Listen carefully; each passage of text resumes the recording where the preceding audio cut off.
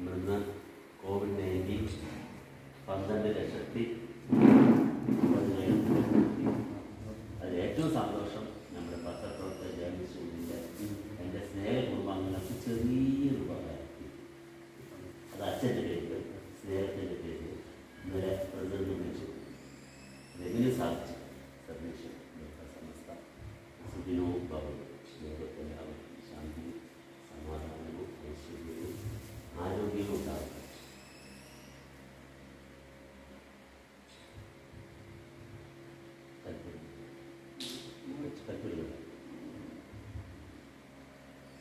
手を入れてあげたいという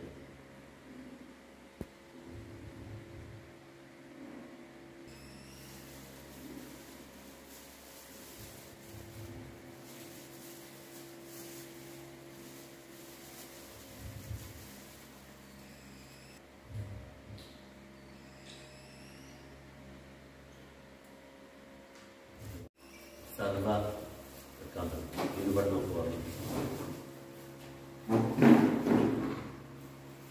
സർവ ചരാചരങ്ങൾക്കും സഹസ്ര കോടി സഹസ്ര കോടി നമസ്കാരം.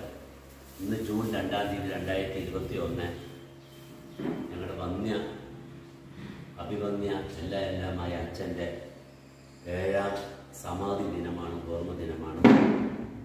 അച്ഛനെന്നും എൺപത്തിനാല് വയസ്സ് വരെയും സദാപി കർമ്മം ചെയ്തുകൊണ്ട് അന്നദാനവും സേവയും ചെയ്തുകൊണ്ട് മരണം മുൻകൂട്ടി അറിഞ്ഞ ഒരു മഹാത്മാവായിരുന്നു. ആ ഓർമ്മ ദിനത്തിൽ സമാധി ദിനത്തിൽ തീർച്ചയായിട്ടും നമ്മുടെ കോവിഡ് തുടങ്ങിയ മാർച്ച് ഇരുപത്തിനാല് രണ്ടായിരത്തി ഇരുപത് തൊട്ട് ഇന്ന് ജൂൺ രണ്ടായിരത്തി ഇരുപത്തൊന്ന് വരെ സ്നേഹാശ്രമം ദൈവാനുഗ്രഹത്താൽ പന്ത്രണ്ട് ലക്ഷത്തി നാൽപ്പതിനായിരം ഫുഡ് പാക്കറ്റ് വിതരണം നടത്തി കഴിഞ്ഞു. പക്ഷെ ഇന്നത്തെ ദിവസം എനിക്ക് സന്തോഷമുള്ള ഒരു കർമ്മം കൂടിയുള്ളത് കേരള ജേർണലിസ്റ്റ് യൂണിയൻ പാലക്കാട്. എനിക്ക് തോന്നുന്നു കേരള ജേർണലിസ്റ്റ് യൂണിയന്റെ തുടക്കം ജനനം തന്നെ ഞാനുമായി ബന്ധപ്പെട്ട് തിരുവനന്തപുരത്ത് അന്ന് ആദരണീയനായ പ്രഭാകരൻജിയും എല്ലാവരും ഉണ്ടായിരുന്നു. അന്ന് ലോക്സഭാ സ്പീക്കർ അന്നത്തെ അന്ന് ഉദ്ഘാടനം ചെയ്ത അന്ന് തൊട്ട് വരെ ബന്ധമുണ്ട്.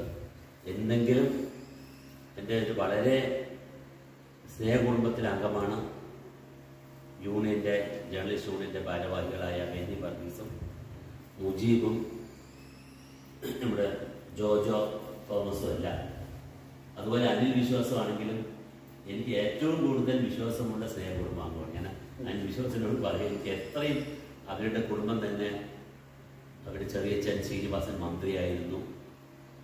ശ്രീ നാരായണ ഗുരുദേവന്റെ കണ്ണാടി പ്രതിഷ്ഠ തന്നെ അനിൽ വിശ്വാസത്തിന്റെ വീട്ടിലാണ് നടന്നത്.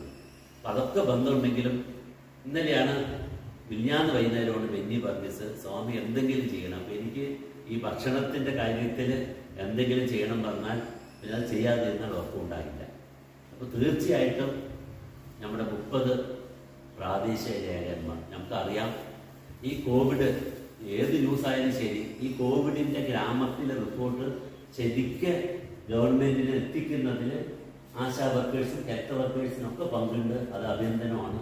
പോലീസുകാർക്കും എല്ലാം ഉണ്ടെങ്കിലും അതിന്റെ ന്യൂസ് വെളിയിലെത്തിക്കുന്നത് പ്രാദേശിക ലേഖകന്മാരാണ്. ശരിക്കും അവരുടെ കർമ്മം ത്യാഗമാണ്. അത് ബലി പറഞ്ഞ പോലെ അവർക്കാണെങ്കിൽ അത്ര സൗകര്യമില്ല. എത്രയോ പേര് ഭക്ഷണമില്ലാതെ കഷ്ടപ്പെടുന്നത് എനിക്ക് നേരിട്ടാണ്. മറ്റാനുകൂല്യങ്ങളൊന്നുമില്ല എക്കാലവും. ഞങ്ങൾ തന്നെ അന്ന് കേരള ജേർണലിസ്റ്റ് യൂണിയൻ ഇതിന് പ്രധാന പങ്ക് വഹിക്കാൻ കാരണം ഞാനും സിനിമാ ശ്രീവിദ്യക്ക കാരണം ഈ സാധാരണ ലോക്കൽ ലേഖകന്മാർക്ക് വല്ല ഗുണം കിട്ടുകയാണെങ്കിൽ ഞങ്ങൾ തരാറുണ്ട് അങ്ങനെയാണ് ഞങ്ങൾ അന്ന് പറഞ്ഞത്. കാരണം അതിന്റെ കഷ്ടം ഞങ്ങൾക്കറിയാം വളരെ അന്നൊക്കെ തന്നെ ആറ് രൂപ മാസത്തിന് പത്ത് രൂപയ്ക്ക് കിട്ടുന്ന ഒരു കമ്മീഷൻ കൊണ്ട് ജീവിക്കുന്നത് എന്നും അതുപോലെ തന്നെയാണ്. പ്രത്യേകിച്ച് ഈ കോവിഡ് സമയത്ത് പിന്നെ നമ്മുടെ ഭാരവാഹികൾ ജേർണലിസ്റ്റ് യൂണിയന്റെ പത്ത് മുപ്പതോളം പേര് വളരെ കഷ്ടപ്പെടുന്നു പറഞ്ഞു. എനിക്ക് ആ കഷ്ടം നിർത്താനുള്ളതൊന്നുമില്ല. എങ്കിലും ചെറു പ്രസാദമായിട്ട് ഇത് സ്വീകരിക്കണം അത് സമർപ്പിക്കുന്നു. എല്ലാവർക്കും ശാന്തിയും സമാധാനവും ഉണ്ടാകട്ടെ. ഞാൻ ഇതിന്റെ പ്രസിഡന്റ് ബെന്നി വർഗീസിന് രണ്ട് വാക്ക് പറയാൻ വിനയപൂർവം ക്ഷണിക്കുന്നു. സ്വാമിയോട് പ്രത്യേകം നന്ദി പറയുകയാണ്. സ്വാമിയോട് സ്വാമിയുടെ അച്ഛന്റെ ഏഴാം ശ്രദ്ധ ഏഹ്, ഏഴാം ശ്രദ്ധ ദിനം. രക്ഷാകർത്താവ്.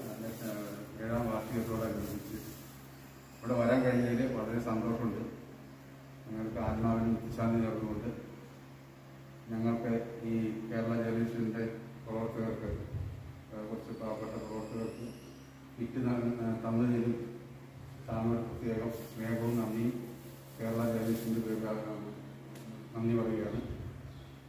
കൂടാതെ ഇവിടെ പല പ്രാവശ്യം വരികയും ഭക്ഷണം കഴിക്കുകയും ഇവിടെ വന്ന് പോകുമ്പോൾ നമുക്ക് മനസ്സിന് ഭയങ്കര കൂടുതലാണ് ഞങ്ങൾ മുജീബ് എപ്പോഴും പറയും നമുക്ക് സുഖം താമസിക്കണം എന്ന് പറയുമ്പോൾ മുജീബ് ഞാൻ സംസാരിക്കാറുണ്ട്. എപ്പോഴും പറയും. കാരണം ഞങ്ങൾ ഇവിടെ വെറുതെ വന്ന് വെറുതെ ഇരുന്ന് വെറുതെ കുട്ടികൾ പോയിട്ടു ഒരു മനസ്സിന് ഭയങ്കര സന്തോഷം. ഇവിടെ വരിക എന്ന് പറഞ്ഞാൽ ഞങ്ങൾക്ക് എനിക്ക് മുജീവനും യുവജനും ഭയങ്കര സന്തോഷം അനുഭവിക്കുകയാണ് കാരണം അത്രയും ഒരു ദൈവികമായിട്ടുള്ള ഒരു ചൈതന്യമുള്ള ഒരു സ്ഥലത്ത് വന്ന് ഇത് വന്ന് വാങ്ങി എല്ലാവർക്കും കൊടുക്കാനുള്ള നിയോഗം ഞങ്ങൾക്കുണ്ടായതിൽ ഞാൻ ദൈവത്തോട് നന്ദി പറയുന്നു.